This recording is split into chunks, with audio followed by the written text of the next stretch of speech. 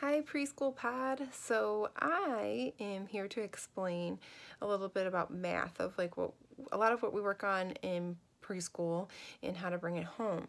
So we work on identifying, writing, and sorting. Um, a fun way to do this is charting and um, an easy way to do this at home is with toys, clothes, shoes, um, cups, any any sort of item that you want. Um, I chose to, and, and you'll, I'll show the chart in a minute, um, make a chart of cars. I don't have actual cars with me, but I just wrote them out and I sorted by color. So um, you ask your son or daughter, hey, can find me all the red cars that you have?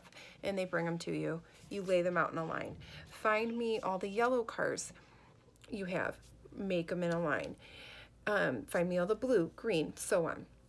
And then you put them in a chart and compare.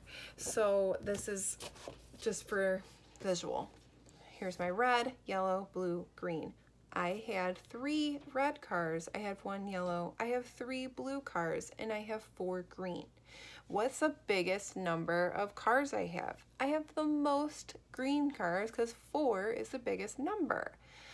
What's the smallest number of cars I have? I have the least amount of yellow cars because I only have one yellow car. And then red and blue are the same, but they're in the middle because I still have more green and less yellow. And then um, another fun activity to roll off of that is, hey, we have uh, we have three red cars.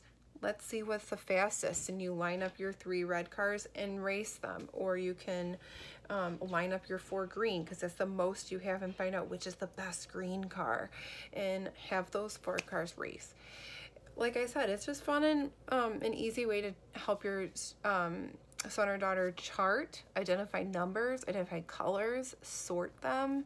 Um, you get a lot of a lot of educational tools in one simple activity and you don't even have to leave the house and you don't have to pay another dime. so um, I hope this was helpful. Please stay healthy. We miss you and can't wait to get back to school. Um, have fun.